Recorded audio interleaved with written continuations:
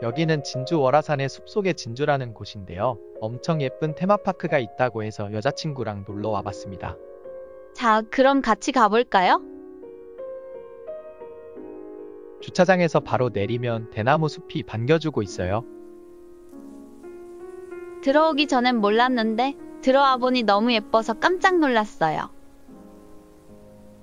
살짝 더운 날씨에도 대나무들이 그늘을 만들어줘서 시원하고 바람이 불면 대나무잎이 흔들리는 소리가 힐링 그 자체입니다. 위에서부터 가파르게 내려와 짧은 줄 알았는데 생각보다 길었어요. 대나무 숲길을 다 내려와 보면 다리를 건너 반대쪽으로 갈 수 있어요. 나무들이 동화에 온 것처럼 엄청 많이 조성되어 있어서 숲속의 진주라는 이름이 딱 걸맞는 것 같아요. 아까 다리에서 봤던 연못에 가까이 와봤어요. 연못에 구름 같은 풀도 있고 처음 보는 꽃도 있는데 진짜 잘 꾸며놨어요.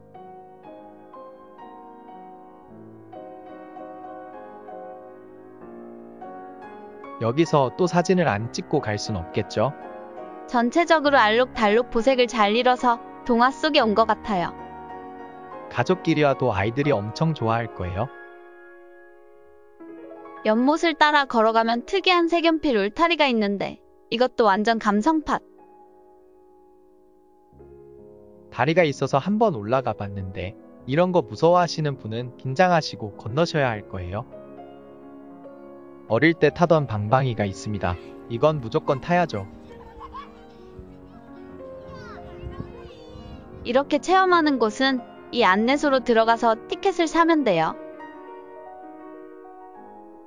제가 방방이라 했던 네트 어드벤처는 어른 기준 7,000원입니다.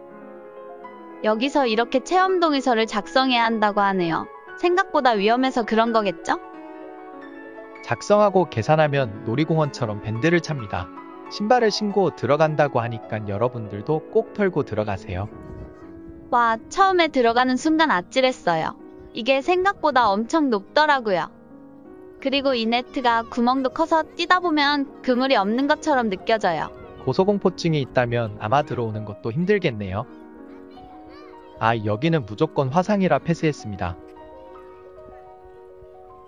이렇게 보니까 더 높게 느껴지네요. 다음 장소로 이동해봤습니다. 무슨 체험 장소인 줄 알았는데 그냥 힐링하는 공간입니다. 들어와 보니 캐릭터 같은 것도 있고 새소리도 들리네요. 여기저기 이런 것들이 많이 조성되어 있어서 딱 인스타 사진 맛집입니다. 몇 군데 이런 해먹이나 그네도 있어요.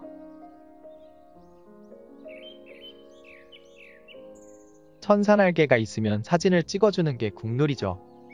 해먹이랑 그네는 장식이 아니라 실제로 탈 수 있어요. 이거 엄청 편합니다. 그늘에 누워서 바람 소리에, 새 소리에 보니까 또 저기 눕고 싶네요. 여기는 월화상관이라고 하는데요. 이곳에서는 아이들이 체험할 수 있게 되어 있어서 저희는 굳이 체험하지는 않았습니다. 안에 들어와 보니 거의 모든 게 나무였고 여긴 성인이 와도 힐링할 법한 곳이에요. 놀이시설인데요. 여기 있는 것도 모두 나무로 만들어졌어요. 아이들이 하루 종일 놀아도 될 만큼 다양한 장난감이 많은데요. 아이가 있다면 여기는 무조건 오는 걸 추천드립니다. 이렇게 좋은 힐링 장소에 글램핑장까지 있습니다. 이걸로 벌써 게임 끝이네요. 저도 미리 알았다면 여기서 자고 있을 텐데요. 다음엔 여기에서 파티할 거예요. 라고 했지만 캠핑장까지 있습니다. 이미 몇몇 분들은 와서 바베큐 파티를 하고 있네요. 우리 다음에 여기 오자. 무조건 그래야지. 저희 영상은 여기까지입니다. 여러분들도 진주에 있는 월화산 숲속의 진주에서 힐링하고 가세요.